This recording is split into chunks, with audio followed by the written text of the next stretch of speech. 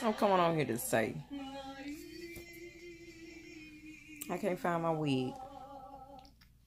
Somebody done stole my wig. I don't know who. Somebody got my wig. I know how many wigs I have. I know what color my wigs are. I know what style my wigs are. And my wig have a name. Now the wig I'm looking for it's called Shorty. Because it's short style wig. And I name her Shorty. Someone done stole my damn wig. Maybe you can have something old, something new, something borrowed, and something flannel. I can't find. I want to wear it to church. Guess I have to come up with something else. What are you getting at, Okay. So